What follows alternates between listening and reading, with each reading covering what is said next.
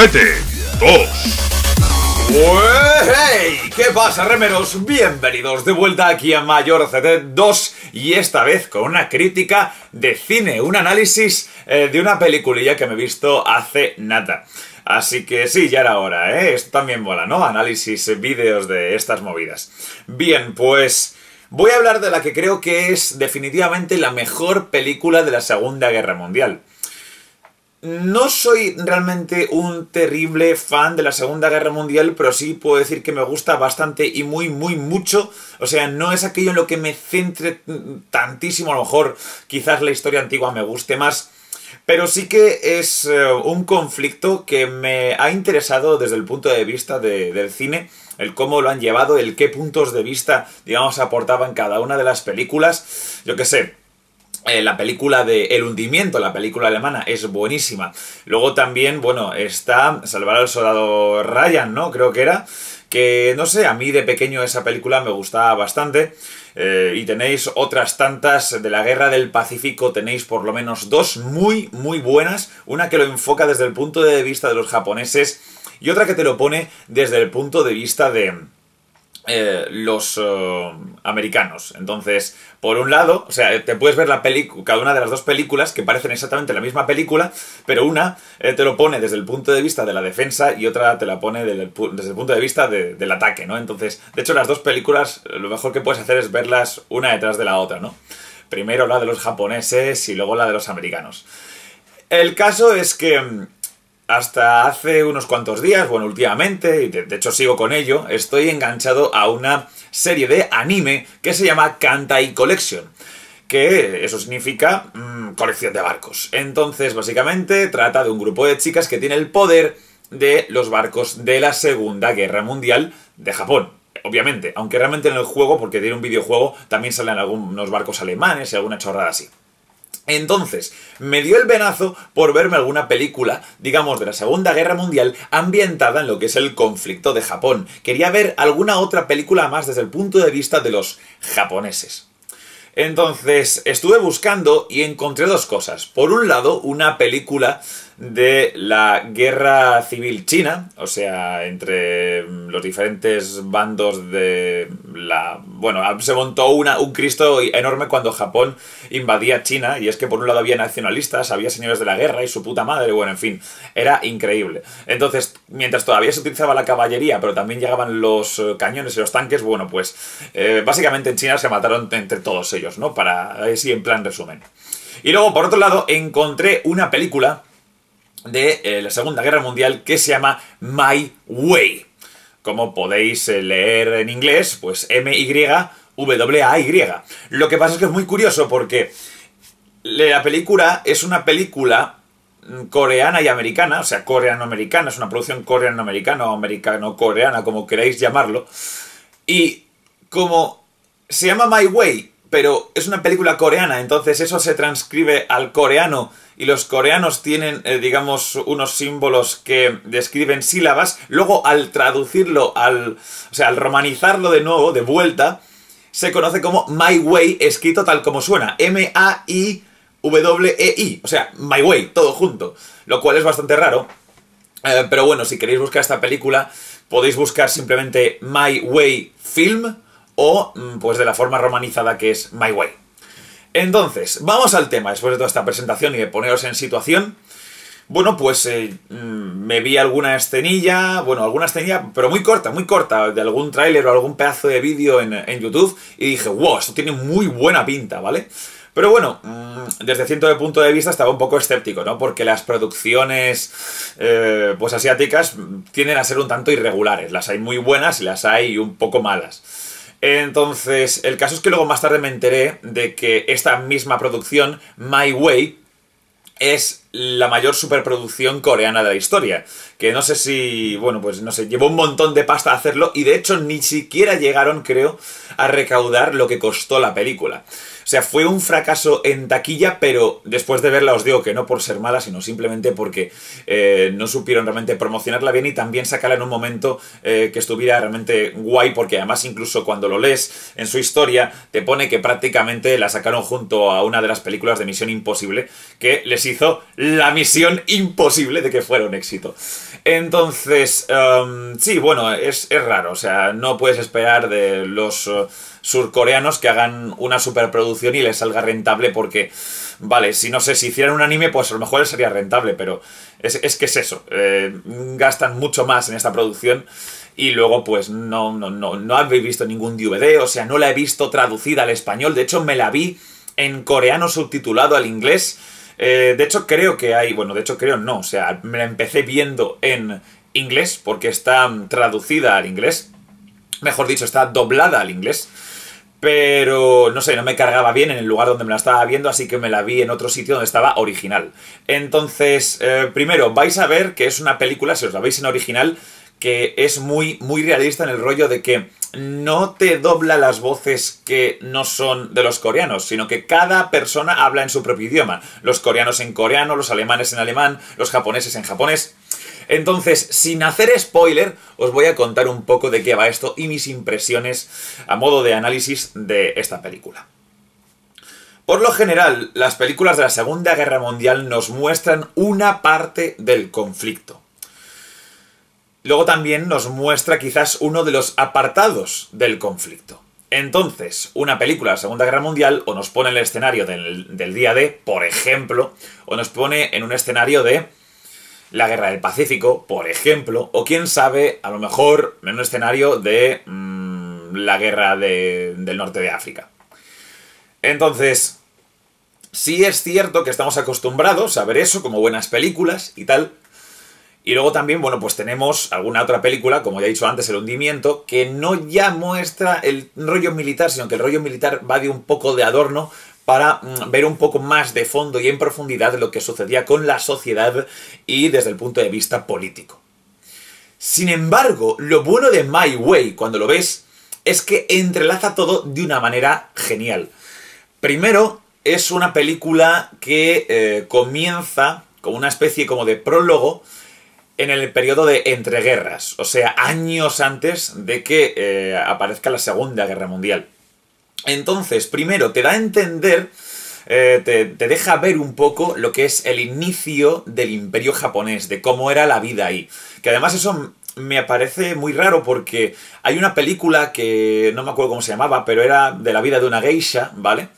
Entonces, de hecho no será difícil encontrarlo, es prácticamente la única película conocida de geishas que te mostraba un poco la vida que había en Japón antes de la llegada de los americanos y de que perdieran la guerra los japoneses.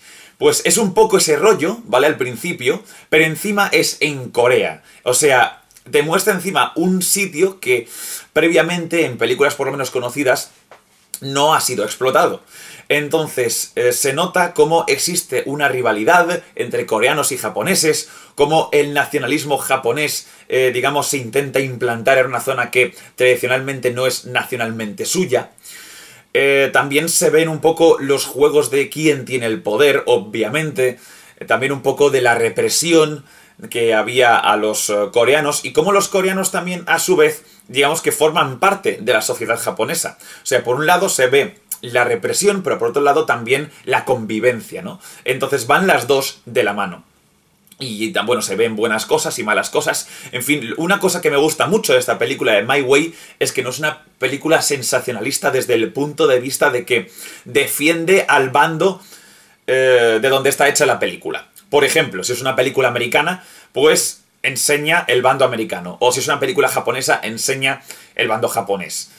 Lo que ocurre en esta película es que te enseña lo crudo de todo el conflicto de la Segunda Guerra Mundial. Y cuando digo todo, es todo, ya explicaré más adelante por qué.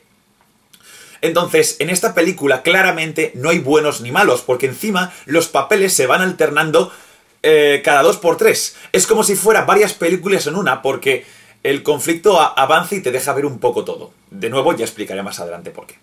Entonces, al principio, la película trata de la rivalidad de dos corredores, uno que es coreano y otro que es japonés.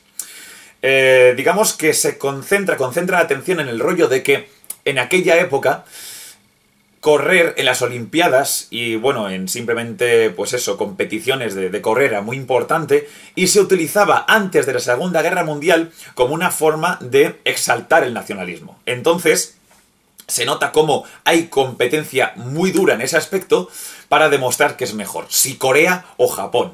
Luego también temas de politiqueos y de federaciones al principio de eh, la película de por qué excluyen a Corea de las Olimpiadas. Entonces, luego como excluyen a Corea de las Olimpiadas, eh, tiene que haber una carrera para ver quién de todos va a formar parte en esas Olimpiadas y participan no solo japoneses, sino también coreanos, pero eso es muy curioso eh, si hubiera ganado el coreano, habría participado por parte de Japón. Entonces, ves todos esos politiqueos que luego encima se vuelven mucho más turbios. Al final, bueno, al final del principio, porque es que la película también es un poco larga, pero merece mucho la pena, en ningún momento se te hace eh, pesada, es muy interesante todo el rato, y sobre todo muy oscura y muy, muy dura, es una putada enorme. Es como una película del apocalipsis este de los judíos, la típica película de un campo de concentración, pero que pasa por múltiples eh, sitios. Digamos que hay dos personajes y esos dos personajes al principio tienen sus objetivos eh, morales quizás. Eh, quizás uno de ellos busca más sobrevivir, pero el otro tiene más intenciones de realmente realizar algo. Y es que al final los dos personajes terminan juntos casi todo el rato por coincidencias de la vida y terminan simplemente buscando sobrevivir y escapar a la guerra. Pero es una guerra de la que no pueden escapar. Entonces, te muestra la vida del soldado desde un punto de vista desesperante de que le obligan a luchar, sea en el frente que sea, por la razón que sea. Entonces, aquí voy a hacer un quizás un poco de spoiler. Puede que voy a intentar mantener el spoiler bajo mínimos, ¿vale? Pero para analizar la película y realmente daros a entender qué es la leche, Em, realmente necesito explicar estas cosas. Entonces, si queréis cero spoiler, buscar ahora mismo la película, mirárosla y volver al vídeo. Pero eh, si no os importa tanto, tampoco os preocupéis porque la película la vais a gozar sí o sí y aún así os va a sorprender muchísimo. Porque además, ya os digo, tiene un montón de detalles que me encantan. Por ejemplo, en un momento eh, se ve cómo existe, digamos, el eh, enrolamiento de unidades de coreanos al ejército japonés, mediante el dictamen de una corte. Entonces, se monta un pollo enorme, básicamente, y la corte dictamina que como sentencia tienen que unirse al ejército japonés. Entonces ahí empieza un poco todo. O sea, empieza, digamos, ese reclutamiento más o menos forzoso en un ejército donde em, prima eh, lo japonés, evidentemente los oficiales son todos japoneses, y ves a los coreanos bajo el mando japonés. En plan de, ¿qué coño hago yo aquí en una guerra que a mí no me interesa? Sin embargo, por movidas del destino, pues evidentemente tienen que hacer eso. O sea, eh, la razón por la cual los sargentos y capitanes y cosas así eh, llevan una pistola no es para, digamos, luchar en... Em, close quarters, que se dice, sino para pegarle un tiro a cualquiera que escape. Entonces, eso, bueno, yo ya lo sabía desde el punto de vista de mis conocimientos históricos, pero en esta película se ve reflejado muchas veces. Muchas veces. Eh, además, en todos los bandos que ves.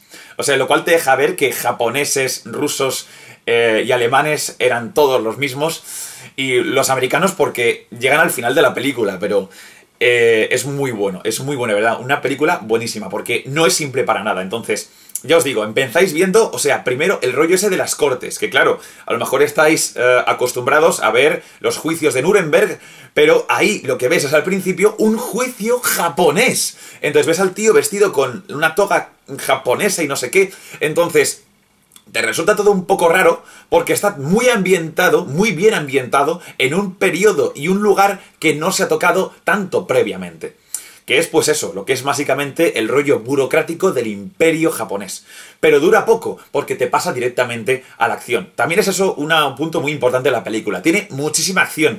No es una película que digamos ahorra en efectos especiales, sino que tiene bueno, no, ya en efectos especiales, sino simplemente en ambientación, en vehículos, en todo. De hecho, es una auténtica bastada de película en cuanto a acción, porque te muestra varios combates a lo largo de toda la Segunda Guerra Mundial. Hay películas que, bueno, tienen su punto fuerte con el desembarco del día D, otros, yo que sé, con Midway o su puta madre, entonces... Pero no, es que aquí tienes pero un porrón de batallas, y encima todas ellas diferentes, y encima en cada una de ellas intenta la película reflejar el estilo de eh, cómo llevaban mm, el rollo bélico cada una de las facciones de la guerra. Incluso, incluso si no eh, es la batalla en la película totalmente histórica. Digamos que la película sobre todo es muy potente en cuanto a ambientación y en cuanto a la profundidad, en cuanto a la cantidad de detalles. Pero sin embargo, a lo mejor en cuestión de las batallas es un poco eh, no tan históricamente correcto. De hecho, hay una batalla en la que los japoneses se enfrentan a los rusos en el frente este de la zona de Manchuria, lo cual es también, de nuevo, un eh, ambiente que no se ha tocado previamente, eh, al menos en muchas películas, desde luego, en ninguna de estas mm, de rollo hollywoodienses. Entonces, en esa en esa batalla faltan tanques japoneses, no aparecen los tanques japoneses. Cuando si tú lees, digamos, en eh, Wikipedia cómo fue la batalla, sí que hubo tanques japoneses. Lo que pasa es que estaban en clarísima desventaja. Y bueno, ves mucho más rollo kamikaze que el que realmente hubo. De hecho, lo kamikaze dentro del bando japonés. Es cierto que había un honor y preferían morir antes de retirarse, eso es cierto, pero sobre todo lo más, más, más rollo kamikaze era hacia el final de la guerra, que ya no tenían eh, ni misiles, ni armas, ni, ni, ni, nada. Entonces, cuando no tenían un lanzamisiles, pues cogían una lanza con punta explosiva, se la daba a un tío y se veta por el tanque. Entonces, vale, eso sí, pero es cierto que, pues eso, ya os digo que en la película hay ciertas exageraciones históricas de cómo fue desarrollada la batalla. Pero de verdad, es tremendamente épico y te mete en la desesperación del soldado de una manera que no ha podido aportar ninguna otra película. Entonces, quizás esa primera batalla es un poco exagerada, porque se ve una diferencia enorme entre el ejército japonés y el ejército ruso. Es como si, vale, sí, realmente hubo una Mm, estaba muy descompensada esa batalla de, de 1 a 3 a lo mejor en posibilidades, porque los rusos tenían muchos más tanques y mucha más aviación, pero es que en esa batalla, tal cual como te lo pinta la película, es todavía muchísimo más exagerado. Resulta que cambian a lo que es el eh, oficial de mayor alto rango de la zona que está protegida por los japoneses, por otro que promete básicamente eh, no rendirse y no, eh, digamos, perder terreno por el emperador. Entonces está ese orgullo, ¿no? Eh, muy propio de la época en el cual el nacionalismo lo empapa todo de una manera asquerosa, ya por donde lo veas. Y entonces, claro, solo por ese honor, solo por ese no dar ni un paso atrás, provoca una cantidad de muertes, de destrucción y de desesperación enormes. Entonces, con una mierda de ejército y encima casi por sorpresa se enfrenta a un ejército ruso enorme y la batalla es súper cruenta, muere todo Cristo, está todo de puta madre bien hecho y de verdad se siente el, desconcierto, esa sorpresa y ese mm, por parte de los soldados, ¿qué coño estoy haciendo yo aquí? Pero sin embargo que les lleva inevitablemente a ese frente. Incluso aparece, digamos, una especie de cameo de lo que son las fuerzas chinas de los comunistas. Entonces, hay un momento que es como un juego de tres.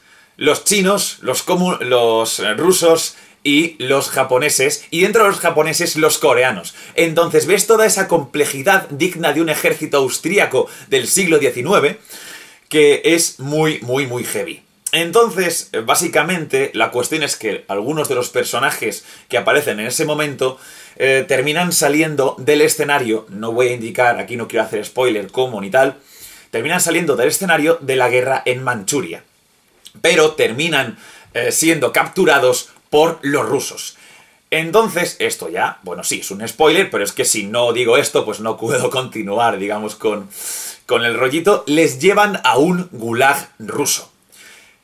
Entonces, el gulag ruso es digno de un campo de concentración alemán de exterminio, pero a la rusa. Entonces, veis que hay un frío de la hostia, evidentemente les alimentan fatal, existen trabajos forzosos, talar madera y todo el rollo. Luego está el rollo de... Mm, hombre, diría el escorbuto, pero el escorbuto realmente no aparece, pero sí lo que es cuando se les hielan y gangrenan partes del cuerpo, eh, básicamente se los llevan, ¿no? Luego, también, lo que me gusta mucho del gulag ruso no es realmente, digamos, la crueldad que te muestran como diciendo los gulags eh, eran así de malos y nunca han sido reflejados en una película, ¿no? Que eso también es muy interesante, el rollo de, de, ver la contrapartida rusa de lo que siempre se ha mostrado de los alemanes, ¿no? Porque claro, como los rusos ganaron la guerra, no has visto ninguna película sobre un gulag ruso, o al menos si la hay, no es muy famosa. Entonces mola mucho porque, no sé, se me hace raro eso de, en lugar de ver a gente de las SS o yo que sé, soldados alemanes, ves cómo los rusos hacen básicamente lo mismo, pero a su manera.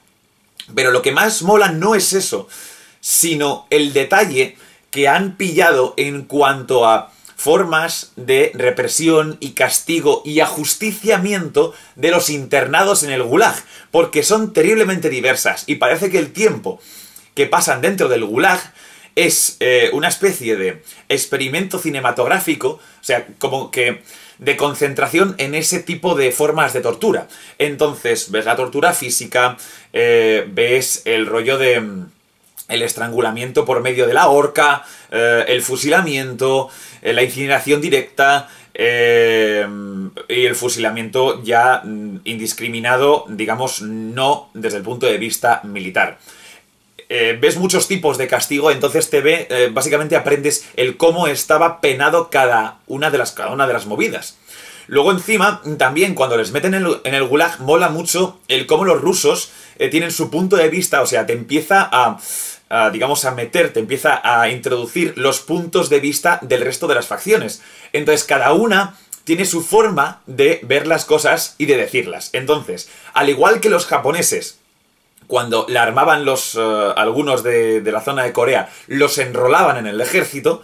Luego se ve cuando les capturan los rusos que eh, le empieza a hablar el ruso y empieza a decir algo del palo de habéis cometido crímenes contra eh, la Unión Soviética o no sé qué, o sea, poniéndolos no como, digamos, cautivos de guerra, o sea, como mm, presos de guerra, sino que los ponen como básicamente criminales, que tienen que pagar eh, con trabajos forzados el daño que han hecho a la Unión Soviética.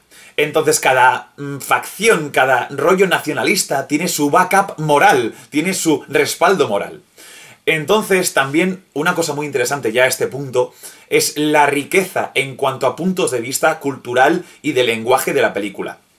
Porque aparecen coreanos, japoneses, rusos, chinos, eh, alemanes, entonces, luego también se ve mucho el juego de lenguas en cuanto a quienes se entienden y quienes no, como algunos van aprendiendo algo de alguna lengua, como los que son oficiales sí saben a lo mejor inglés y alemán, pero el que es el que ha sido un coreano simplemente de pueblo raso, pues solo sabe coreano y como mucho japonés porque la zona estaba invadida por los japoneses. Entonces, todo ese montón de detalles hacen muy rica la película, que realmente es ciertamente rápida, pero como transcurre en un montón de sitios y pasan muchas cosas, y la película es larga, realmente no se hace ni rápida ni corta. Es de una longitud cojonuda, no te vas a aburrir y vas a ver un montón de cosas desde muchos puntos de vista. Entonces, el caso es que llega un momento en el cual los rusos están desesperados. Entonces, al igual que a lo mejor los japoneses estaban desesperados en la batalla anterior, ahora los desesperados son los rusos. Y vienen, llegan con unos camiones llenos de eh, básicamente ropa militar, muy básica, básicamente un abrigo y un gorro ruso, para tener el uniforme que realmente representa a los soldados rusos, y obliga a enrolarse a los eh, cautivos que estaban dentro del centro de concentración ruso, que eran coreanos y japoneses, al ejército ruso para enfrentarse a los alemanes. Y dices, pero qué cojones, tío, qué jodidamente guapo. Porque todas estas cosas son a lo mejor cosas que pasaban y que luego reflejaban el por qué mm, los ejércitos terminaban siendo hasta cierto punto variopintos y extraños, el porqué de las levas, los reclutamientos forzosos, el último momento, digamos, el punto de inflexión para los japoneses y para los rusos, el cómo lo hacían, todo eso no se ve en ninguna otra película. Sea, como mucho, por la típica película americana en la cual enrolan a un americanito de Kansas de una forma totalmente tranquila o que vienen a por el indio navajo de los cojones y dicen, oye, que como tu idioma es ciertamente extraño, pues te vamos a meter a nuestro equipo de inteligencia. Es eh, servicio militar obligatorio, pero te vas a venir con una carita feliz. Entonces, el otro se despide de su familia de forma seria y se va al maravilloso ejército americano. No, esto no es así. Esta película te muestra básicamente el por qué todos y cada uno de los soldados estaba jodido. Y además, incluso en cualquier batalla, si en cualquier batalla hay un bando claramente jodido frente a otro, da igual, el otro también se lleva bajas. O sea, es una película que es eso, no es partidista. Entonces te demuestra, te muestra toda la crueldad de la Segunda Guerra Mundial en estado puro. Me encanta. De nuevo, os recuerdo, es una película que tiene doblaje al inglés y que está en el rollo original. Y en el rollo original, si sabéis inglés, yo os aconsejo que os la veáis en original, con los subtítulos en inglés. Hombre, si encontráis subtítulos en español, pues mejor, ¿no? Pero eso va a ser bastante raro porque todos los links que he visto de, de My Way, supuestamente en español, están caídos. Y bueno, es una película, ya os digo, de 2011, creo. Sí, 2011, que básicamente tal cual como lo veo es una película de culto. Porque es que antes no he oído hablar de ella y ya van cuatro años de que salió. Pero os digo, muy buena. Luego también la caracterización, o sea, los personajes realmente lo hacen muy bien, los actores son bastante buenos. Y, se nota también muchos papeles, el cómo va cambiando cada uno, el cómo cada uno afronta la guerra, porque son dos protagonistas básicamente, pero eh, existen realmente diversos personajes a lo largo de, bueno, de, cada momento. Y luego también, según van cambiando los sitios, también van cambiando un poco eh, las caras conocidas y cómo mm, cada uno se va tomando la guerra. Y también se nota, digamos, eh, esa mm, amplitud de la confianza que tienen con, yo qué sé, con a lo mejor el oficial japonés, no sé qué, no sé cuánto, bueno, todas esas movidas. Luego también una cosa que mola un montón, aparte de la forma de cómo reclutan de manera forzada a toda esta gente a lo largo de diversos ejércitos de la Segunda Guerra Mundial es el comportamiento de los oficiales de la Segunda Guerra Mundial. Porque resulta que a lo mejor ves al principio a los japoneses eh, tratar con muchísima dureza a los soldados, que parece una auténtica represión, pero luego lo piensas y dices, hostia, este es como el típico sargento americano de las películas que se comporta como un cabrón. Y es que luego es así. Y vas pasando y vas pasando como todos los oficiales se van comportando con una autoridad desmedida y al final terminan comportándose como unos malitos cabrones. Todo termina al final, curiosamente, esto no es spoiler, porque te lo dice al principio de la película, que bueno, que un japonés, bueno, un asiático fue encontrado en el día de tal cual, o sea, de hecho todo esto se basa en un hecho real, está muy, muy basado, o sea, que no es muy, muy real, pero está basado en un hecho real, que es que sí encontraron a un asiático em, en el eh, frente occidental, en la defensa del día D, porque había pasado del ejército japonés al ejército ruso y del ejército ruso al ejército alemán y había terminado pues en Occidente, ¿no? Entonces ese rollo. Entonces, en ese momento, al principio, cuando llegan, eh, cuando llega el personaje, ¿vale? Pues básicamente se ve con un oficial alemán y cómo van dando las órdenes, ¿no? Entonces, supuestamente para los alemanes de la Segunda Guerra Mundial, Francia era el mejor destino, porque supuestamente iba a ser muy tranquilo toda la zona estaba más o menos protegida y lo más que había, pues había unos cuantos neutrales por la zona, España, Portugal y alguna tontería más. Entonces, sí, supuestamente los trabajos de construcción del muro atlántico eran el mejor destino para un soldado alemán. Entonces, al principio, pues bueno, se ve al oficial alemán dar las instrucciones de trabajo y tal, y bueno, se le ve más o menos, pues mucho más modosito y mucho más, ¿cómo decirlo?, civilizado que el resto de oficiales, ya sea japoneses, rusos, lo que sea. Pero luego, cuando las cosas se ponen duras, termina siendo exactamente igual que cualquier otro y saca la pistola y todo el rollo. Y entonces se ve el papel del soldado, se ve muy bien el papel del oficial, se ve la crudeza de no ser un tanquista y de ser un tanquista. O sea, se ve todo. Eh, la aviación cobra poca importancia, pero cobra una importancia hasta cierto punto relevante en ciertos momentos, entonces se ven mucho todos los papeles de absolutamente cada movida, se ve un poco del asunto de los barcos, porque claro, evidentemente si sale el día de hay barcos, luego también, pues ya os digo, papel de la aviación, pero sobre todo mucho, mucho, mucho el rollo de la guerra terrestre, pero ya os digo, en toda su dimensión. Soldado raso, oficiales, eh, yo que sé, colaboracionistas, eh, eh, concentrados en, forma de prisión, porque es eso, es otro rollo muy importante. En la película, eh, los personajes no pasan solo por el gulag ruso, sino que también eh, quedan presos mm, digamos, bajo el mando de diversas otras facciones. Entonces, se ve cómo trataban a los propios soldados y a los presos cada una de las diferentes facciones. Entonces, es todo mierda, es todo guarrísimo, es... Se ve la crudeza hasta mm, en cualquier punto. La muerte, la agonía, eh, la escasez de alimentos, eh, digamos, pues de nuevo el rollo ese de la presión de los oficiales. Y luego, al final, eh, es el cómo escapar de todo esto, cómo irte a lo mejor posible. Entonces, con tal de escapar del conflicto entre los rusos y los japoneses, terminan capturados por los rusos, con tal de em, huir del tema de los rusos que no tienen un equipamiento y vamos, la esperanza de vida es una puta mierda en las batallas, eh, terminan escapando al tema de los alemanes. Eh, al principio, claro, hay dificultades de idioma y terminan jodidos con los alemanes, pero luego terminan participando en el bando de los alemanes y cuando por fin llegan los aliados pretenden escaparse de los alemanes y bueno, en fin, es de verdad una maravilla de película.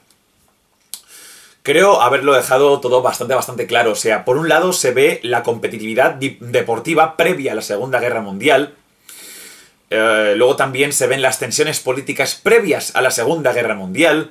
Se ve también el aspecto de cómo era la sociedad, tanto en el panorama público como en el panorama privado de los japoneses y de los coreanos. Se ve el juego, pues también del rollo mm, burocrático, tanto de federaciones como político y militar. Entonces empieza de una manera de verdad que te mete mucho, muy rápido en el papel de los coreanos y los japoneses en esa eh, misma guerra. Y luego, pues yo digo, una variedad de conflictos enorme. O sea, japoneses, rusos, chinos, eh, alemanes y americanos. Entonces, de verdad, es una película que es tremendamente rica es original a más no poder, porque es que no veo nada que pueda llegar más lejos en cuestión de películas de la Segunda Guerra Mundial, porque hemos visto la típica vida, o sea, el papel de un soldado, y el soldado llega a la isla, invade la isla, llega al final de la isla y han ganado. Ya está, esa es la película. Es que así podría resumir la mitad de las películas o más de la Segunda Guerra Mundial. Y poco más. Eh, luego también, pues eso, el tema está en que muchas de las películas de la Segunda Guerra Mundial llegan a conflictos muy conocidos, ¿no? Y luego el tema de el día de, el día de, siempre el día de. Y en esta película aparece el día de, pero como una especie de culmen entre tantos conflictos y batallas que además ya os digo que dejan ver muy bien dos cosas. Primero, cómo cada bando tenía sus formas de batallar y de comportarse que aunque en ciertas mm, movidas eran exactamente iguales, en otras cosas tenían sus particularidades, también te muestra el cómo avanza la guerra. Entonces, cuando existe esa. cuando veis esa batalla entre rusos y japoneses, ves los vehículos del principio de la guerra. Eso es muy curioso, porque ves los tanques más, eh, digamos, eh, tempranos para la Segunda Guerra Mundial. Sin embargo, cuando llegan al frente mm, ruso con los alemanes, ya ves tanques un poco más avanzados. Eso sí, por parte de los alemanes que en ese momento llevan la iniciativa. Y luego, cuando ya toca el momento de estar en el día D, pues aparecen todos los navíos y los aviones tirando hacia el final de la Segunda Guerra Mundial del bando aliado. Entonces, de verdad, una película genial en todos los aspectos. Eh, desde luego un esfuerzo en efectos especiales por parte de los coreanos enorme. Quizás en algún momento me da que pensar sobre los efectos especiales que podrían ser un poco mejor, pero en otros momentos digo, hostia, esto es, está de puta madre hecho y es absolutamente genial.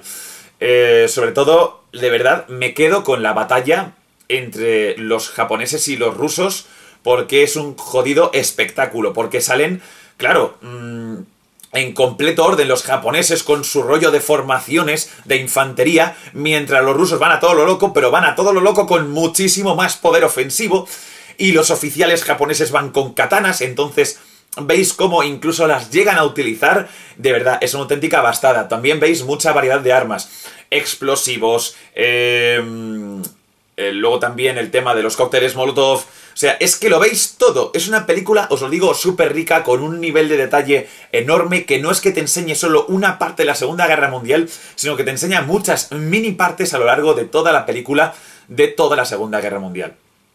Y joder, es que me da ganas de que hubiera más películas así. Y tenía cierta esperanza de que esta película fuera así de buena, porque claro, yo me pregunto, joder, eh, el hecho de que una película sea coreana y no la conozcamos no implica que no sea buena, y encima pues eso, han invertido muchísima pasta en hacerla. Entonces, tal como lo veo yo, parece una película de culto, eh, es eso, se han gastado 24 millones de dólares eh, americanos en hacerla dentro de lo que cabe tampoco es una producción tan grande porque los americanos serían capaces de mucho más, pero para lo que es mm, Corea, pues eh, evidentemente es un auténtico pasote. Y os lo digo, si son 24 millones, los han invertido muy bien, porque la película está muy bien hecha.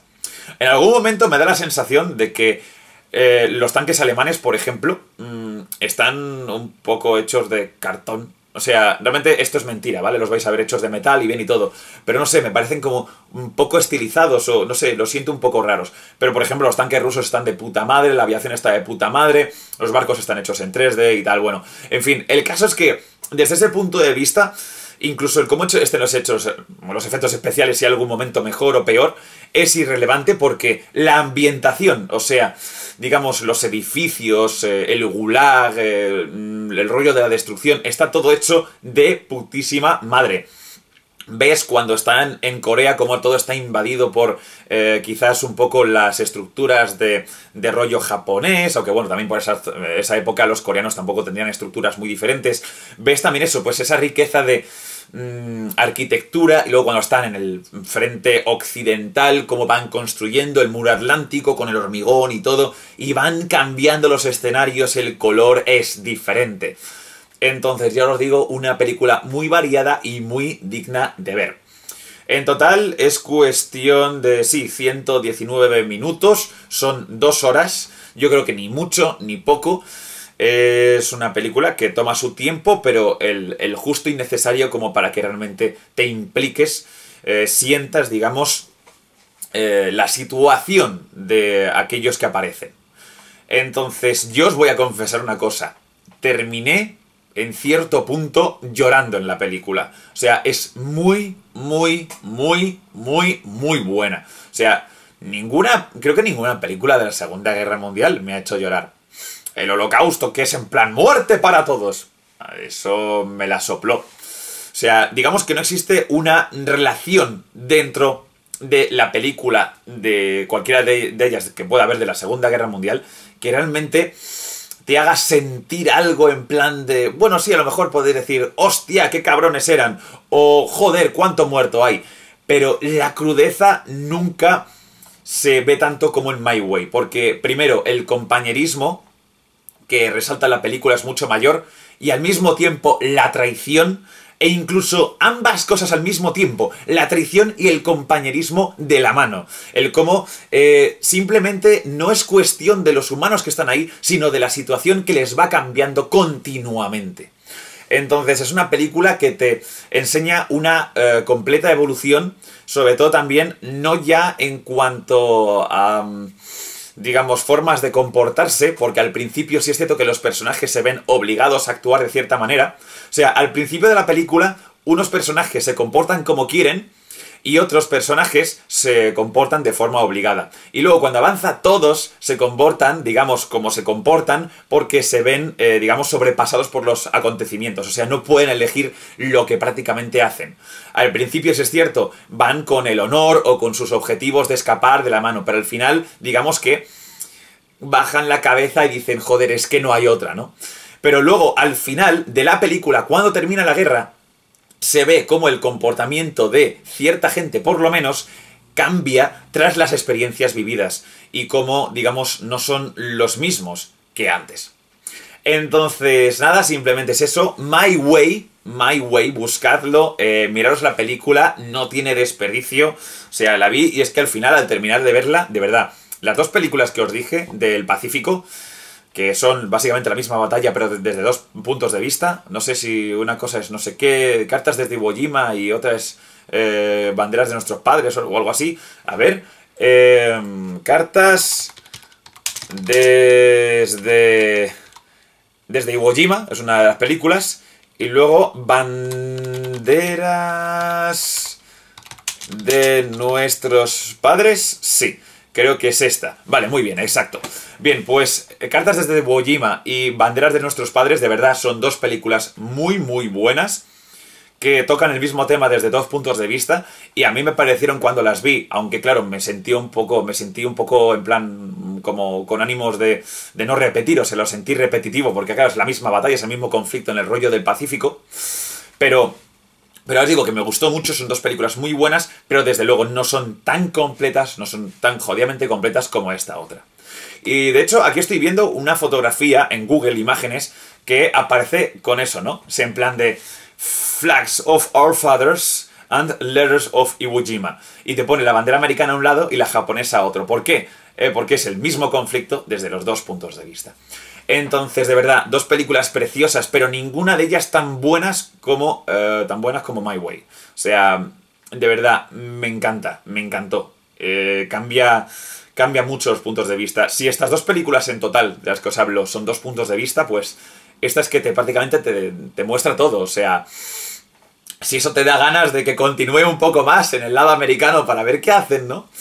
Pero bueno, es, eh, es así como, como, va la película y, ya muchísimo que aporta, de verdad, muy eh, novedoso, de nuevo basado en un hecho real, pero muy, muy basado con bastantes licencias en cuanto a lo que son personajes históricos, o sea, en ningún momento, bueno, sí, sí que se chocan con algún personaje histórico, pero son pocos, o sea, lo que son los oficiales y, soldados, digamos, reales que hay en la historia, están basados en, o sea, no es que sean como tal los eh, reales. Entonces aquí lo voy a dejar, simplemente espero que os veáis la película, My Way, también la podéis buscar con, en el rollo romanizado, My Way, My Way.